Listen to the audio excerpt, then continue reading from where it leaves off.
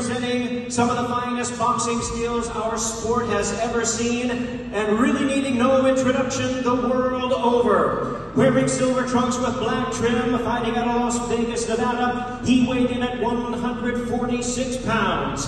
A veteran of 25 world title bouts, he is undefeated in his 18-year campaign with a record of 47 wins, no losses, 26 wins. Coming by way of knockout, here is boxing's future Hall of Famer, the renowned pound for pound great and pay-per-view king, the sensational 11-time world champion in five weight divisions. Please welcome the reigning and defending undefeated WBC and WBA welterweight champion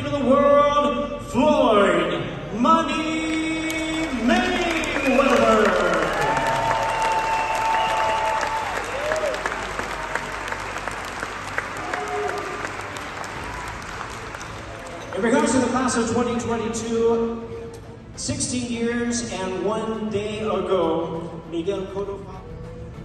Just want to say, thinking of my uh, brother Dr. T and his son Ali, gone too soon but never forgotten.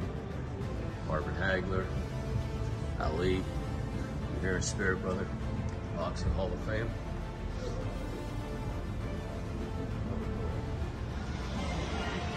Really appreciated this.